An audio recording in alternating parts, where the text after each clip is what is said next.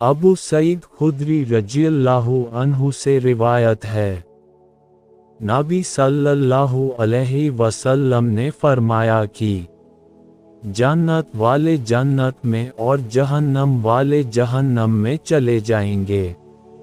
तो अल्लाह ताला फरमाएगा कि जिस आदमी के दिल में राई के दाने के बराबर ईमान दुनिया में अल्लाह पर यकीन हो उसे जहन्नम से निकाल लाओ तो ऐसे लोगों को जहन्नम से निकाला जाएगा, जो जल कर काले हो चुके होंगे।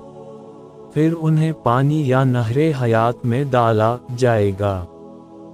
मालिक को शक है कि उस्ताद ने कौन सा लफज बोला। वह सिरे से ऐसे उगेंगे जैसे दाना नहर के किनारे उगता है। क्या तू देखता नहीं वह कैसे जर्द जर्द लिपटा हुआ निकलता है? रेफरेंस सही बुखारी 21 तफसील।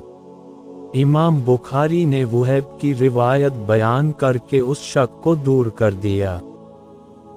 जो इमाम मालिक को हुआ यानी ज़िंदगी की नहर नहर हयात सही है।